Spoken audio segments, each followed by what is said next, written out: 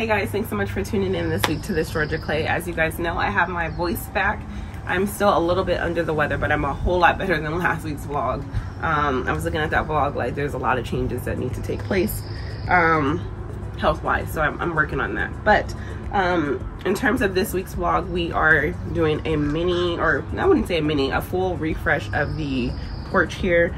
Um, if you guys have been watching for a while, you do know on the porch I had two rocker chairs before and I was just kind of debating if I wanted to get a swing bed. That still might be possibly something that we do in the future. Thinking maybe me, me and Matt can tackle that as a DIY project, but as of right now, um, we went ahead and did a refresh and partnered with Costway. So let's go ahead and get into this week's vlog.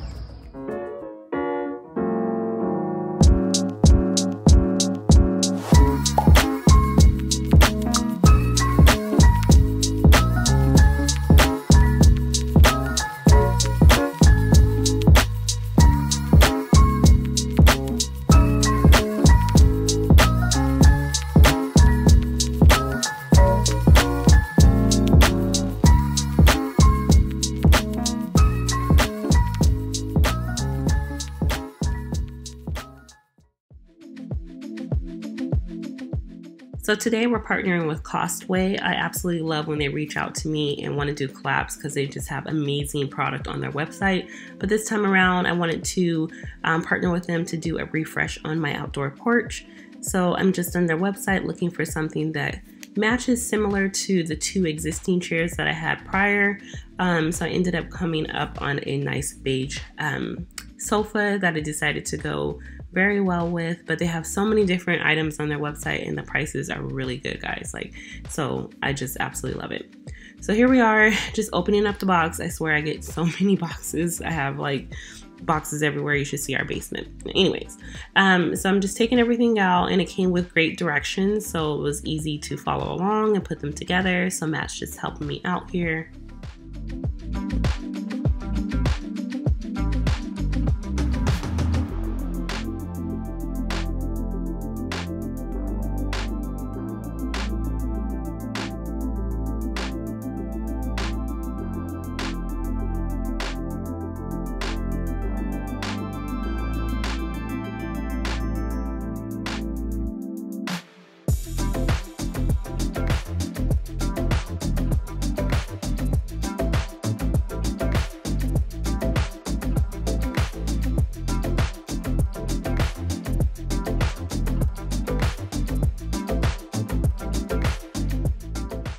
That the sofa was put together, it was time to get rid of our old rockers. So actually the rockers didn't travel too far. They actually went next door to my neighbor Gina. Um, so she'll enjoy them, but it just wasn't giving me the vibes that I wanted for the front of my home. And also a lot of the people in our neighborhood had rockers and I just wanted to be a little bit different than all of my neighbors.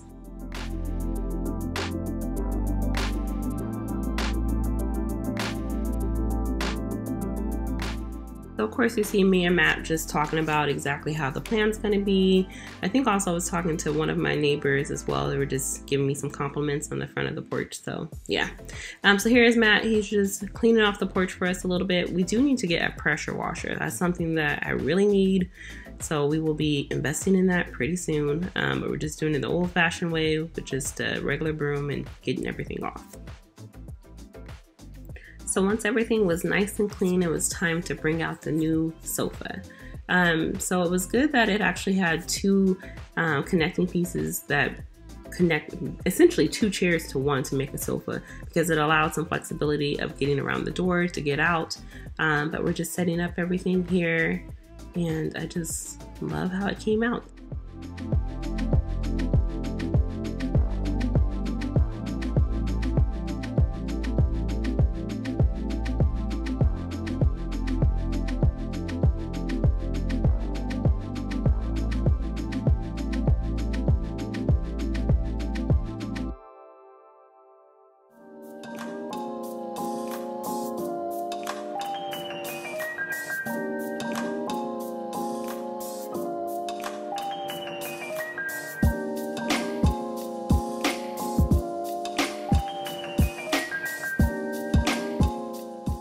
So clearly, Miss Leah is loving the front porch.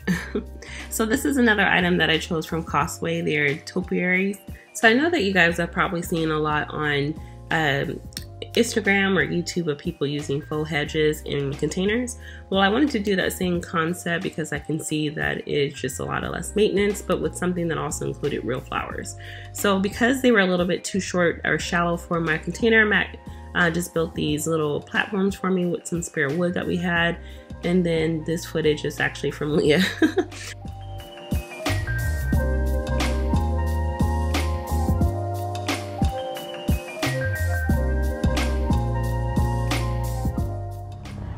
So thanks again so much for Costway for sending this over to us. It completes the porch and I feel like it just gives that extra um, seating that we needed so that way we can invite friends over because I have already enjoyed this space with cocktails with my neighbor Gina so it's been nice.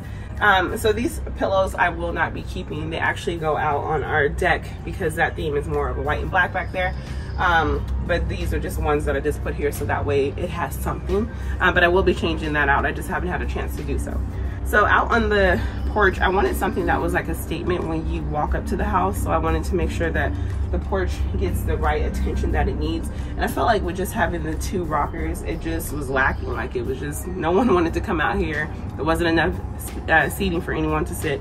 Uh, we are a family of five. So technically this isn't enough seating either, but we don't have all five of us at one time. So four is just enough space for all of us um, to enjoy it. But again, with the rockers, I really just wanted something that just took up the space. It just felt like it was just lackluster. Was just sitting here.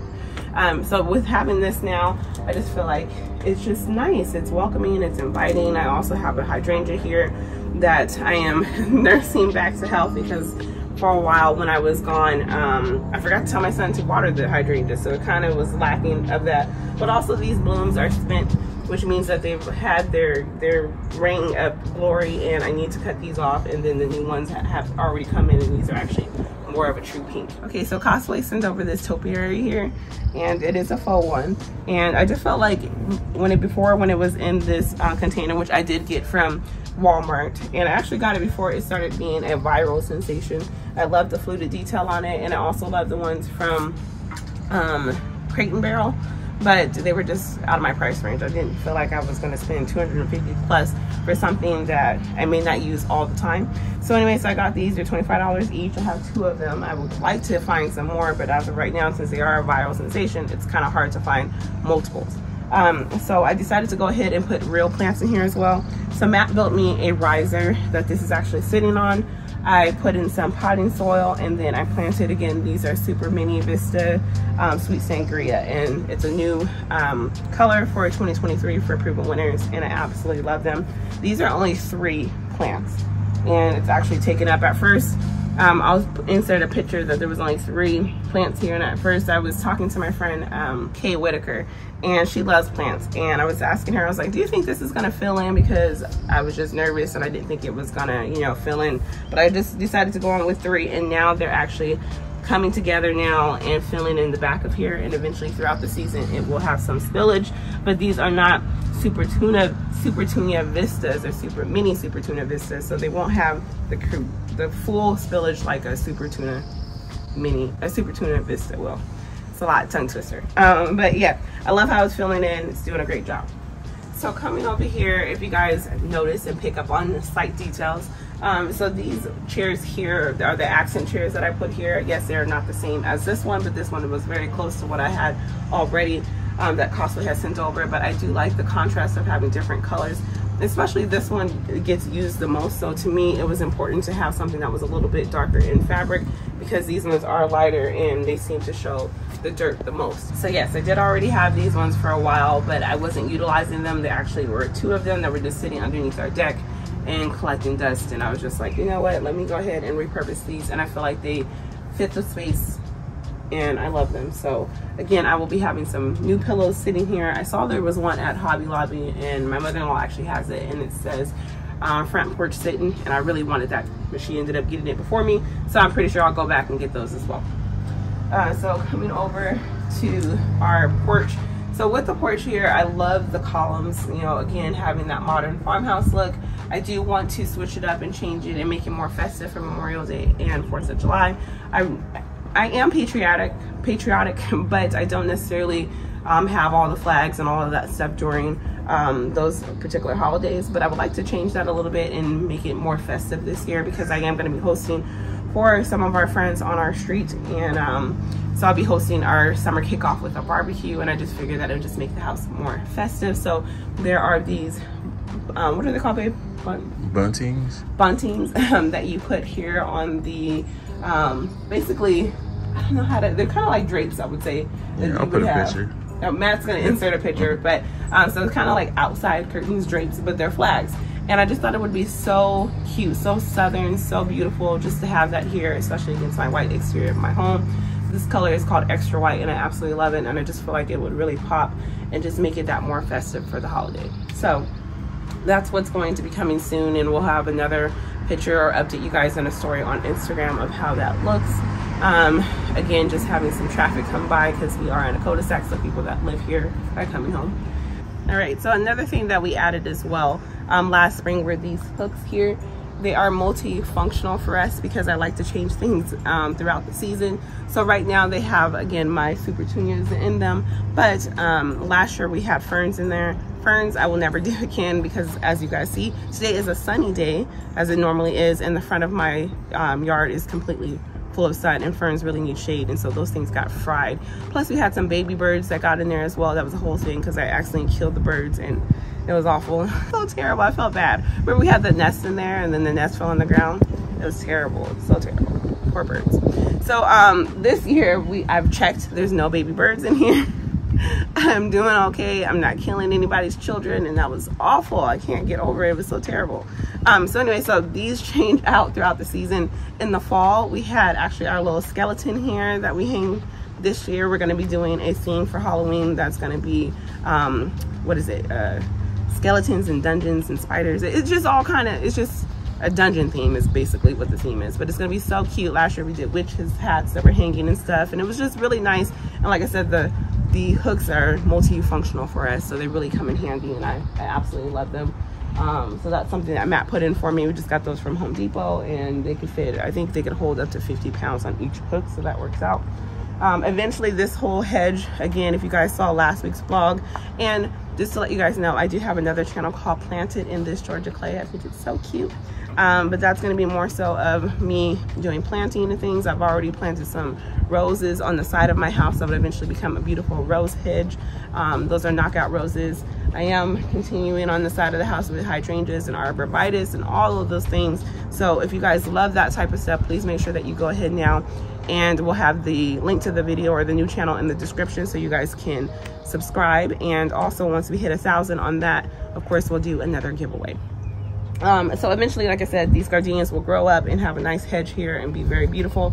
They should start blooming soon. I do see some buds on them here. Um, so it does say that it usually blooms in um, May, June. So we are in the beginning of June. So hopefully these buds all open up and they should have beautiful white flowers against my beautiful white house. So again, thank you guys so much for tuning in this week to this Georgia Clay. Special shout out to Costway. Thank you guys so much for partnering with us and completing our front porch makeover. And please make sure that you guys like, subscribe, share it with a friend, and make sure you go right now and subscribe to Planted in this Georgia Clay. Bye guys.